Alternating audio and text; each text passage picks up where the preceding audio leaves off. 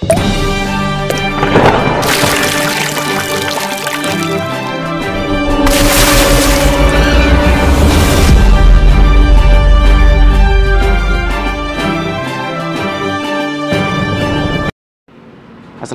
warahmatullahi wabarakatuh. Masih bersama Afta Jaya Motor. Uh, Kali ini saya akan memberikan tips bagaimana cara untuk uh, mengetopkan komprensi motor Honda CB 150R uh, Semoga ilmu ini bermanfaat bagi teman-teman pemula uh, Di sini saya tidak berba apa, uh, tidak menggurui teman-teman semua Tapi cuma berbagi ilmu dan pengalaman Oke. Okay.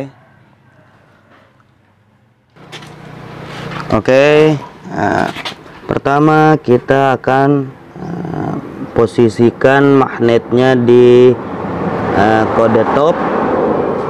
Nah, kode top apa? Kode T yang ada di dalam sana, teman-teman. Tuh. Sejar-jarkan pada bagian ini. Oke. Kita lanjut ke atas. Untuk di bagian atasnya di bagian rantai keteng di sini ada beberapa kode. Di bagian ini ada in, ada X. Dan di sini juga sama. Di sini ada X, di sini ada in.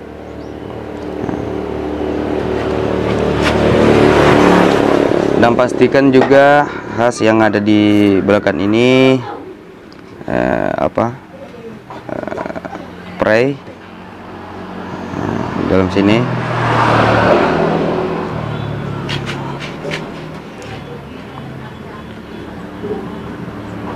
Untuk posisi egg house ini kita sejarkan tunggu dulu karena lagi buram. Ya oke. Okay untuk uh, di bagian egg house kita luruskan pada uh, posisinya seperti ini. Ya dan untuk intake kita juga posisikan seperti ini lurus. Dan ada tulisan intake in.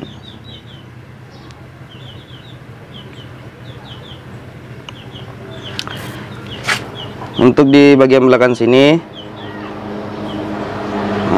untuk khasnya ini ada tertulis X dan tonjolan ini menghadap ke depan. Nah, berarti posisi klep tidak sedang di apa tidak sedang terbuka. Dan di bagian sini juga ada tulisan X. Di sini juga ada tulisan X. Nah, teman-teman posisinya kurang bagus. Nah, di sini ada tulisan X. Dan untuk yang di sana juga begitu. Nah, ada tulisan X ano in. Sini juga ada tulisan in. Sini juga di sebelah sana ada tulisan in juga.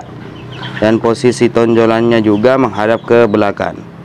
Posisi uh, klep tidak terbuka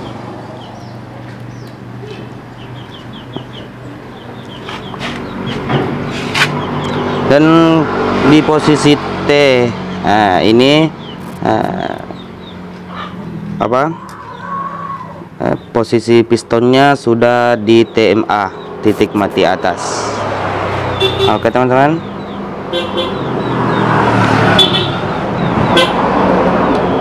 Ini dia. Perhatikan baik-baik. Sorry uh, kameranya lagi buram. Ini dia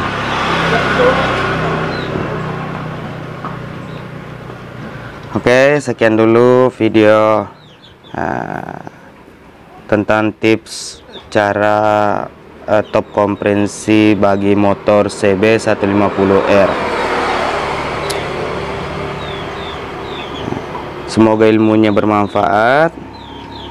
Uh, dan semoga uh, apa semua teman-teman uh, tambah sukses dan sehat selalu. Oke jangan lupa subscribe like comment and share. Uh, Assalamualaikum warahmatullahi wabarakatuh. Salam Kanuku Bolong